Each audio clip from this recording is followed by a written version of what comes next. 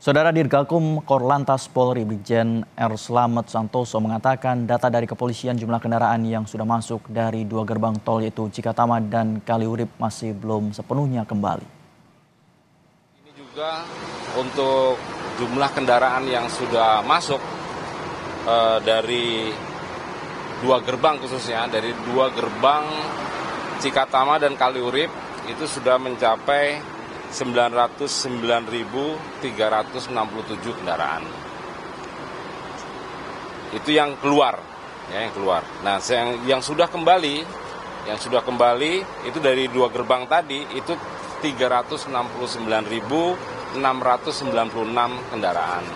Sehingga apabila kita kalkulasi yang melewati dua gerbang tol itu, itu masih ada sisa, itu tadi per jam 21 jam 21 tanggal 14. Nah, itu sisanya yang masuk gerbang kembali itu adalah 539.671. Nanti akan tetap kita hitung sampai dengan uh, hari ini. Hari ini sisa kendaraan. Kemudian terkait dengan kecelakaan, kecelakaan data kecelakaan kami itu dari tadi yang disampaikan Bapak Kakor Lantas itu mencapai 2152 selama operasi dari tanggal 4 sampai hari ini. Dengan eh,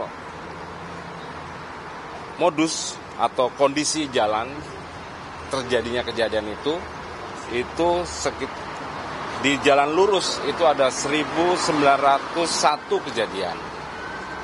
Artinya bahwa e, masyarakat perlu tetap menjaga kesehatannya.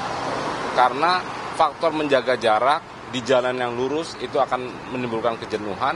Itu yang perlu kita antisipasi apabila istirahat atau kondisi kurang fit atau lelah istirahat di tempat rest-rest area yang sudah kita sediakan ataupun kalau misalnya rest area itu penuh maka e, diharapkan bisa keluar dari jalan tol.